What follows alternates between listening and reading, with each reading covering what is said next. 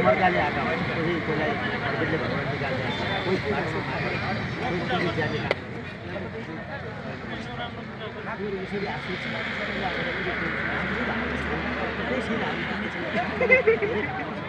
त्यस्तो खालको लकडाउनमा अघिल्लो लकडाउनमा पुरै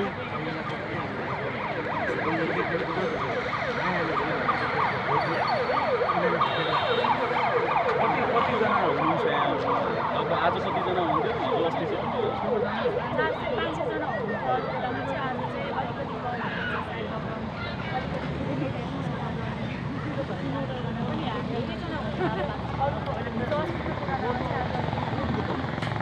अब यो कहिलेसम्म चाहिँ जारी रहन्छ तपाईँहरूको यो यसलाई अब हाम्रो सल्लाह सुरु गरियो। अब यहाँ हाम्रो र सल्लाह गर्दाखेरि चाहिँ अब सडकमा खानेहरू छ अब यिनीहरू आज आज भोलि अलिकति कम होला। सडकमा जहिलेसम्म रहन्छ। किनकि त्यो बेलासम्म चाहिँ हामी यो खाना किनकि हामीलाई सहयोग गर्ने बोलेर खुसी भएर यो हाम्रो कामलाई खुसी भएर सहयोग गरिदिनेहरू धेरै हाम्रो उहाँहरूले पनि दिनुभएको चामल खाद्यान्न ती र पैसै दिने पैसा दिएको छ त्यो पनि हामीले सबै सडकमा जबसम्म रहन्छन् ती व्यक्तिहरू तबसम्म चाहिँ हामी लकडाउन पछि खुल्ला भयो र सरकारको समस्यामा परेका व्यक्तिहरू त्यही पनि फेरि प्रहरीसँग तर रहेसम्म चाहिँ हाम्रो व्यापारी छ लास्ट छ। त्यही भएर चाहिँ यो हाम्रो अवधारणा अनुसार नि सडकमा कोही भोका नबस्छन् नाङ्गै नबस्छन् सडकमा पेसारा र देख्नको कुरा हो। हाम्रो काम चाहिँ नि सडकमा खानै लिएर आएर दिए पनि अथवा नदिए पनि हामी पेसारा र काम ओके पुण्य सरसँग एकछिन पछि आउँछु पवित्राजीसँग चाहिँ आउँछु तपाईँ चाहिँ के भन्न चाहनुहुन्छ?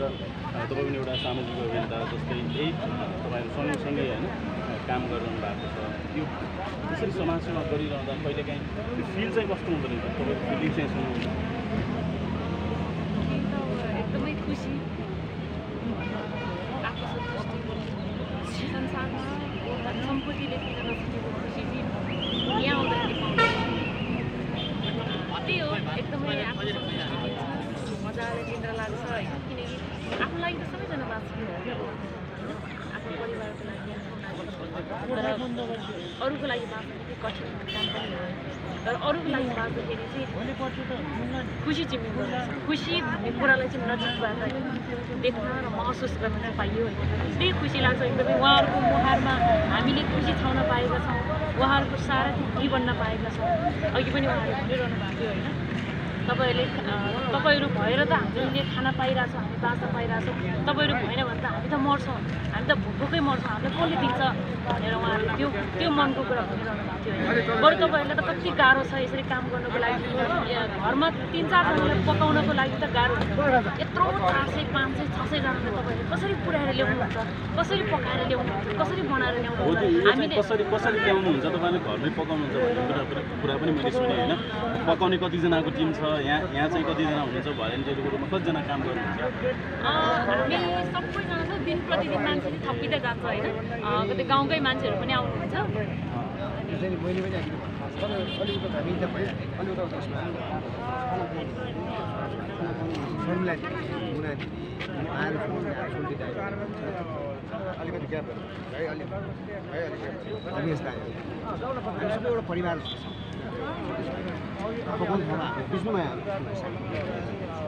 समाजमा साँच्चीकै एकदम खुसी लाग्छ र यहाँ चाहिँ नि हाम्रो राजु दाई हुनुहुन्छ राजु दाईदेखि धेरै रिकभरिङ घटना यहीँ हुनुहुन्छ उहाँहरू उहाँ चाहिँ उहाँ चाहिँ हामी चाहिँ सबैजना रिकभरी हामी कस्तो कि हिजोको दिनमा सडकमा समाजले तिरस्कार गरेको व्यक्ति जुन। आज क्लिन भएर नयाँ जीवन पाएका छौँ हामीले पनि केही गर्न सक्छौँ भन्ने एउटा दाइ हामी पनि सपोर्ट गर्छौँ हामी एउटा टिम बनाएर गरेको छौँ यहाँ बाह्रजना तेह्रजना हामी छौँ तेह्रजना यता अनि उता पनि हामी दस बाह्रजना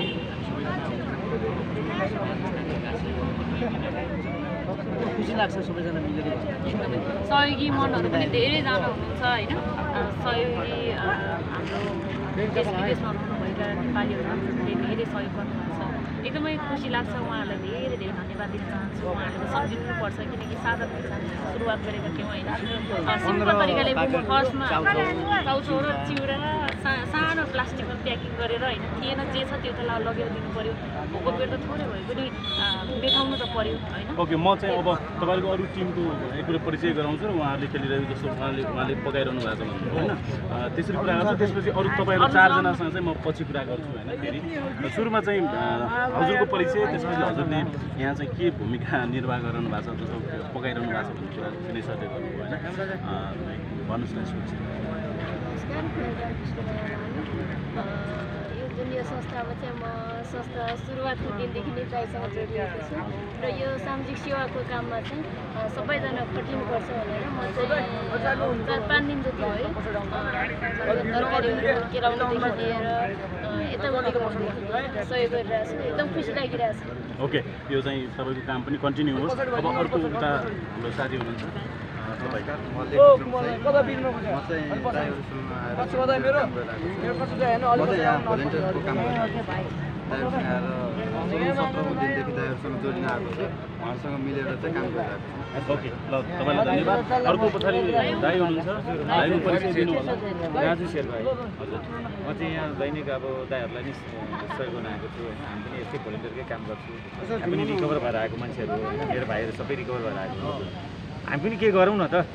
हिजो सडकमा हामीलाई ठोकेका थिए जति पनि मानिसहरूले त्यो मान्छेलाई के गरेर देखाउँ भनेर हामीले चाहिँ दाईको लागि सपोर्ट बनाएको छौँ दाई पनि रिकभर रिकभर भएरै आउनु भएको म पनि रिकभर भएरै आएको विकेन्ड भन्ने हामी कुरा सबै अब अलि म लास्टमा दुईजना उता हुनुहुन्छ त्यसपछि हामी चारजना चाहिँ होला हजुरको परिचय नमस्कार म माधव राज हमाल होइन अब हामी यहाँ खाना बनाउनुदेखि लिएर यहाँ आउने गरिरहेको छौँ होइन अब सहयोगी हातहरू जुटिराख्नु भएको छ होइन हेरेर लाइभहरू हेरेर फोटोहरू हेरेर फोटोहरू हेरेर अब निरन्तर सहयोगी मनलाई हार्दिक नमन गर्दै होइन हामी निरन्तर काम गरिरहेको छौँ होइन। अब जहिलेसम्म यो सहज हुँदैन सबै सहज नहुँदैसम्म हामी निरन्तर गरिरहेको छौँ। र भोलिका दिनमा नि बेवारिसीको लागि हामी यसरी नै गरिरहेको छौँ। जो असहाय बेवा बेसारा हुनुहुन्छ उहाँहरूको लागि हामी निरन्तर गर्छौँ। तपाईँलाई धन्यवाद। अब तपाईँ। नमस्कार मेरो नाम सरोज हामी अब यो अघिल्लो लकडाउनदेखि नै बाटोमा सडकमा हिँड्नुभएका असहाय ढोकापिटहरू भन्नेलाई निरन्तर अगाडि बढिरहेका थियौँ।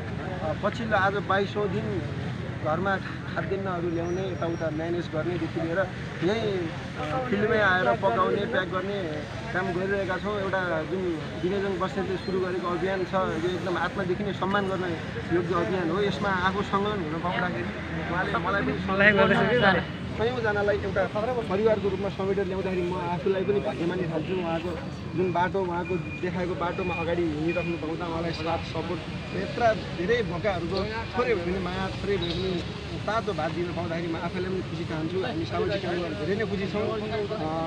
जबसम्म सडकमा यस्तो समस्या भइरहेको छ जबसम्म बेमारिसहरू भोको बसिराख्नु परेको छ जब जबसम्म यहाँ असहाय जुन दिनदेखि गरिबी यो ठाउँमा मात्रै होइन जुन ठाउँमा के जुन जुन ठाउँमा पनि जति पनि मान्छेहरू हुनुहुन्छ असहाय हुनुहुन्छ दुःखी हुनुहुन्छ उहाँहरूलाई अब हुँदा खानेदेखि लिएर हुने खानेदेखि सबैलाई समस्या छ। अहिले यो महामारीको बेलामा जति पनि हामीसँग जोड्नु भएको छ जतिले हामीलाई सहयोग गर्नुभएको छ जतिले हामीलाई हौसला दिनुभएको छ सबैलाई यो अनलाइन टिभीबाट युट्युबबाट सबैलाई म हार्दिक हार्दिक आभार व्यक्त गर्न चाहन्छु।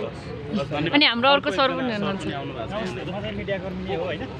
एकदम हाम्रो सरले गर्नुभएको कामलाई चाहिँ निरन्तर हामीले निकाल्नुपर्छ बाहिर निकाल्नुपर्छ भन्ने हिसाबले चाहिँ म निरन्तर यहाँ उहाँलाई सपोर्ट गरेर आएको छु। त्यो मात्रै नभएर जति पनि मिडिया साथीहरू हुनुहुन्छ जति पनि मिडिया साथीहरूले कभर गरिरहनु भएको छ सबैजनालाई धेरैभन्दा धेरै धन्यवाद दिन चाहन्छु। विशेष उहाँले नेपाल सरकारले पनि गर्न नसकेको कामलाई उहाँले निरन्तर यो भिडलाई सम्हालेर यो नेपाल प्रहरीले सम्हाल्न नसकेको भिडलाई सम्हालेर निरन्तर बेवारिसी मानिसलाई चार चार सय पाँच सयजनालाई चाहिँ खाना खुवाइरहनु भएको छ। त्यहाँ चाहिँ हामीले पनि केही हेल्प गर्नुपर्छ हामी युवा पनि तात्नुपर्छ भन्ने हिसाबले चाहिँ म निरन्तर उहाँलाई साथ सपोर्ट दिइरहेको छु। हरेक मिडिया हाम्रो जति पनि मिडिया साथीहरू हुन्छ सबैजनाले उहाँलाई सपोर्ट गर्नुपर्छ। त्यो मात्रै नभएर हाम्रो टेलिभिजनका साथीहरू हुनुहुन्छ सबैजनाले चाहिँ उहाँलाई सपोर्ट गर्नुपर्छ साथ दिनुपर्छ। र भोलिका दिनहरूमा कोही पनि भोको नरहोस् कोही पनि गरिबी नरहोस् कोही पनि ग्यास बास कपासको आवश्यक नपरोस् कतिपय साथीहरूले मिडियाको साथीहरूले पनि कति ठाउँमा गएर सपोर्ट गरिरहनु भएको छ त्यसरी नै यहाँ आएर सपोर्ट गर्नुभयो भने तपाईँहरू साथीहरू म पनि एउटा मिडियाको कर्मी भएको कारणले के भन्न चाहन्छु भने तपाईँहरू ट्रेन्डिङको भिडियो मात्रै नहेर्नुहोस् होइन? ट्रेन्डिङको भिडियो भिडियो मात्रै नहेर्नुहोस् कि समाजमा के भइरहेछ कसो भइरहेछ को मान्छेले राम्रो काम गरेको छ त्यो पनि हामीले लिनुपर्ने जरुरी छ। हामी मिडियाकर्मीले अब कतिले गाली खाइरहेको छौँ कतिले के गरिरहेको छौँ किनभने तपाईँको यस्तो कामलाई चाहिँ तपाईँको निरन्तर उनीहरूले दिँदैन कि? म तपाईँको मेरो भ्युज नआओस् मलाई डलर कमाउनु छैन कि। मेरो युट्युब च्यानल हो म टिभी न्युज नेपालबाट बोल्दैछु। मलाई कुनै पनि डलर कमाउनु छैन टिभी न्युज नेपालमा भन्छ कि? मेरो कुमार भट्टराई। मलाई डलर कमाउनु छैन र मलाई भ्यू कमाउनु छैन क्या उहाँ जस्तो मान्छेलाई चाहिँ हामीले समाजमा उहाँले गरिरहनु भएको काममा चाहिँ साथ सपोर्ट दिनुपर्छ भन्ने हिसाबले चाहिँ म यसरी आइरहेको छु।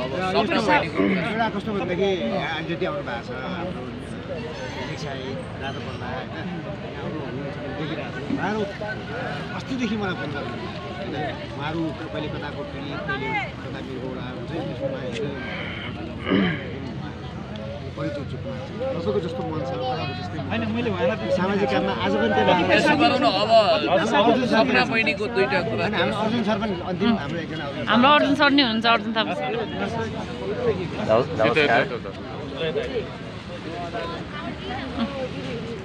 नमस्कार म हो जोडिन पाउनु मेरो लागि एकदमै भाग्यको कुरा पनि हो म खुसी छु यो कुरा यो काममा जस्तो हामीले कसले के काम गरिरहेछौँ भन्दा पनि विनेशजीले जुन अभियान स्टार्ट गर्नुभयो आजभन्दा सात आठ वर्ष अगाडिबाट त्यो अभियानमा हामी जस्तै युवाले उहाँलाई सपोर्ट गर्न पाउनु आफैमा एउटा ठुलो गर्वको कुरा लाग्छ आफूलाई। उहाँलाई देखिरहँदाखेरि मैले हरेक ठाउँमा भनिरहेको हुन्छु। उहाँलाई देखिसके पछाडि छुट्टै एउटा इनर्जी आउँछ क्या। लाइक उहाँलाई अनि यति सानो उमेरमा जुन सपना छोरीले गरिरहेको छिन् सबैको लागि आइडल हुनुहुन्छ उहाँहरू। इभन मेरो लागि मात्रै होइन हाम्रो टिम सबैको लागि आइडल हुनुहुन्छ। जस्तै सपना छोरीकै कुरा गर्ने हो भनेदेखिलाई हाँस्ने खेल्ने उमेर हो होइन? साथीभाइसँग रमाउने उमेरमा व्यवहारिसे लास विने विनेशहरूसँग व्यवहारिसे लास उचालेर गरिरहँदाखेरि उहाँहरूलाई देखेर हामीले सिकिरहेछौँ भनेपछि हामी जस्ता अन्य युवाले पनि सिक्न आवश्यक छ। जस्तो साथीभाइसँग घुम्ने रमाउने क्लब दोहोरी मात्रै होइन। समाजमा पनि केही दायित्व छ हाम्रो। हामी युवाहरूले केही गर्नुपर्छ भन्ने सोचले हामी उहाँहरूसँग समावेश भएका छौँ है। धेरै कुरा नगरेर तपाईँको पनि धेरै टाइम लाग्छ। धेरै धेरै धन्यवाद। अब म चारजनासँग चाहिँ कुराकानी गर्छु। पुण्य गौतम विनयजन बस्दै सपना बहिनी त्यस्तै पवित्रजी यहाँ हुनुहुन्छ। सुरुमा चाहिँ अब धेरै कुराकानी भयो। पुण्य गौतमबाटै सुरु गरौँ होइन हामी। आज चाहिँ तपाईँ यहाँ कसरी आइपुग्नु भयो चाहिँ पहिला त यहाँ हिरोको पालो पछि आउँछ भनेर एउटा प्रचलित कहावत फेल खा किनभने यो कार्यक्रमको असली हिरो उहाँ हो विनयजी। लङ्का उहाँले अरू भेडुहरूले पगरी गुत्ने होइन। असली हकदार उहाँ। आज मैले आज खादा बिर्सी छु। सधैँ झोले भएर हिन्दी झोला लिएर झोलामा खादा थियो ठ्याक्कै बिर्सी छु। सबैलाई उडाउनु। वास्तवमा हृदयबाट भन्दैछु के विनयजी उहाँ र मैले कुण्डली पल्टाएर को दाई को भाइ छिनोफानो गरेका छैनौँ साल एकै रहेछ उहाँसँग त्यो गर्नु छ। किनभने बडो सम् सम्मान गरेर दाई भनिदिनुहुन्छ धन्यवाद। सपना बहिनीको द राइजिङ नेपालको स्टोरी पढिसकेपछि म यति तरङ्गित भएँ यो उमेरमा त वास्तवमा म किताबको किरो मात्रै थिएँ होला अलि राजनीति गर्थेँ होला। उहाँले यति धेरै काम गर्नुभयो पवित्रजीको विषयमा त उहाँको पवित्र कामको विषय म मैले भनिरहनु पर्दैन बागमती जत्तिकै पवित्र छ। भोलि चाहिँ व्यवहारिक चाहिँ सब जलाउने बेला। पहिला पनि हेमजी हामी सँगै थियौँ। भोलि मलाई बोलाइदिनु होला। कति बजी? ल मलाई फोन आओस्। मिस कल आए पनि म गर्छु।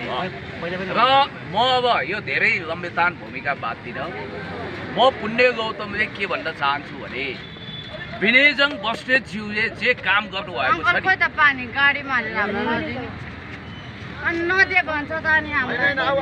समाजसेवीको असली समाजसेवीको विभूषणद्वारा सम्मानित हुन उहाँ योग्य हुनुहुन्छ त्यो सोसियल वर्करको रूपमा उहाँले त्यो पदवी डिजर्भ गर्नुहुन्छ।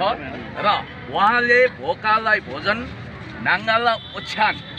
अर्थात् कपडा भन्ने मान्यतालाई एकदम स्थापित गर्नुभएको छ बेवारिसी शब्द दफन गर्नुभएको छ। मियो बिना दाई हुँदैन उहाँ मियो हो अनि अर्को कुरो आदि भरिएको गाग्रो छचल्किन्छ। उहाँ छचल्किनु हुन्न किनभने उहाँ भरिएको गाग्री हो र रित्तो भाँडा बढी बग्छ अहिले बजिरहेको छ तपाईँले देखिरहनु भएको छ समाज सेवाको नाममा पनि रित्ता भाँडाहरू सुनको कमण्डलुमा भिख माग्नेहरू पनि छन्। त्यो भिडबाट नितान्त बेग्लै व्यक्तित्व हो उहाँ। आफ्नो गोजी भित्याएर समाज सेवा गर्ने व्यक्तित्व हो। र अर्को कुरा पनि म भन्न चाहन्छु। अर्को कुरो विनयजी तपाईँ बस्दिनु होला। अर्को कुरा म तपाईँलाई भन्न चाहन्छु। कसैले कसैले ल, ठिक छ।